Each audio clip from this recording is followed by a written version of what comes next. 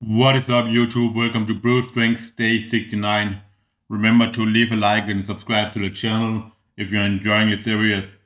Help me get to a thousand subscribers. So for this training, I started out with weighted chest bar pull-ups and yes it is weighted, you just can't see the weight really well, but it's only 2.5 kg. And as mentioned in um, last training where I did weighted pull-ups, I wanted to focus more on um, just doing reps with like no leg swing it like kip at all. So for this one, I, I didn't um, kip with my legs at all. You can see my legs are completely straight at all times. And this definitely makes a noticeable difference in the performance, but I still feel pretty solid.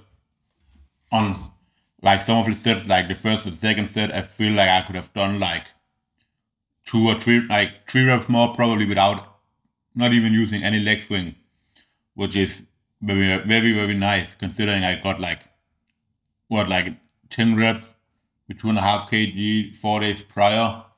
So if I can do like nine without any leg swing, like kipping, that is um, means I can definitely do more than 10. I can probably do 11 with two and a half kg. But my main reason for doing it like this is just I want it to be just raw pull-up strength. Um, and that's how I'm going to continue to do it. Next week is six sets of six. And I'm going to go up to 5 kg and start with four sets of four, five sets of four, six sets of four. Do the same thing with sets of five. And then do the same thing with sets of six. Now for the new lateral raise variation that I'm doing now. As I mentioned in the last one, I, I was going to move on to this because I got a set of 20 reps with the 16 kg dumbbells. So I'm also doing this extremely controlled as you can see. I actually did a set before this and I was like, fuck, I've never felt my lateral shoulders, like my side delts, as much as I do here. And I think it's because it's just like totally isolated and then also because I'm controlling the eccentric so, so, so, so much. But the thing that I realized is that first of all, like you can see, I have like a big stretch in the bottom, but then I rolled back a little bit on the way up. So I want to avoid that. And also when I get onto the, um, to the next video where I try to get an even bigger stretch by moving the dumbbell down in front of me, you'll see that the position, like the, the um, line on the way up that the dumbbell follows it's not the same as on the way down. So I want to make sure that it's better by constantly just like thinking about just like moving it backwards, constantly like straight out to the side. So yeah, that's a few things I have to work on in terms of the setup, I think. But I should have a lot of lot more time tomorrow with a lot less need for um, just pacing through my training. So I'll have more time trying to play around finding the optimal setup, which um, should help me. But you can see it here, like on the way down, I bring it like for some reason way more in front of me. On the way up, I actually like how it, it looks a, a lot more, which is weird. Like, like I think the line that I'm using on the way up should be way, way, way harder. But for some reason, I'm using another line on the way down where it's obviously easier on the eccentric. Maybe something is wrong with my setup. But yeah, I felt my lateral shoulders really good anyways. More than I've ever done in the standings. So I can't wait to push these with absolute perfect form. Now moving on to the preacher curls. I finally managed to beat my own record um, so I got 16 reps, which is plus one from what I've done before.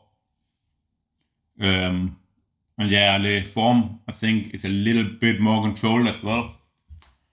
If I think back of like how I've done it before, so that is also something to say, take into consideration, especially as I start to get towards the last few reps. I really focus on just like getting the full stretch and controlling it a little bit more because I, I want to limit the chance of injury risk as I get closer to failure. So this is the 15th rep. You can see that is not come. Actually, I think that was the 16th maybe. Well, that was definitely definitely the 15th. So not completely difficult. Then the 16th here. Yeah, you can see there I'm grinding a lot. But I mean, I've done more grindy reps than that. Reps than that. And that is also why I attempted to do rep number 17. But I mean, I just didn't have any more in me. Then in the back off set, I only got 11, so not even more than I've done before in the second set. But I know that if I didn't attempt the rep number 17, I would definitely have had enough in me to do 12 reps for sure. That is absolutely guaranteed. Like those reps where you just like try to get it up, you're just sitting there trying to grind for a couple seconds and the weight doesn't move at all. Like those are the most fatiguing reps that you can do. Like those are already at past RPE10, so they're even more fatiguing than a rep like this where I totally just like grind it out because here I'm actually able to complete it.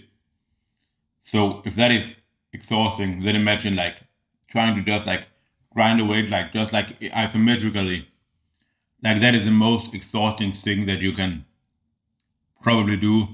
I mean, this is not even isometric training. It just becomes isometric because I don't have more strength than 33 kg in my biceps. Like I've gone from maybe being able to do like 50 kg for one to not even being able to do like 33 kg for one. Like that is a huge um, decrease in performance if you think about it like that. If it was just isometric, I'm, I would still be putting like 50 kg of force into the bar, but it would just not move because there was a pin like holding it back. But here it's just not moving because I've lost so much strength for all the accumulated sets. Then again, I end up with um, just a said with 5 kg less just to accumulate more volume. And I'm pretty sure for this set I managed to get, what, like 13 reps, maybe just 12. So just the same as that, as that I've done before in the back off set. But it is what it is. Like the first set improved, which was like the most important. Actually, think it was only 12, like one less than I've done before. But I said before that I got 10.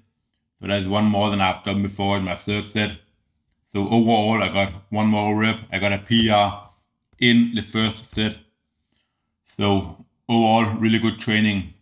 And I'm excited to continue um, playing around with the lateral well raised variation just to um, master it 100% and to see where my pull-up strength will go now that I'm focusing a little bit more on just like isolating and not using any momentum from the hips. That is all for day 69 and I'll see you all later. I'm out.